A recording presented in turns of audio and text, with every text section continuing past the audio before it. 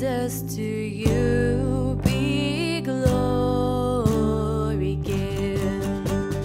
Word of the Father.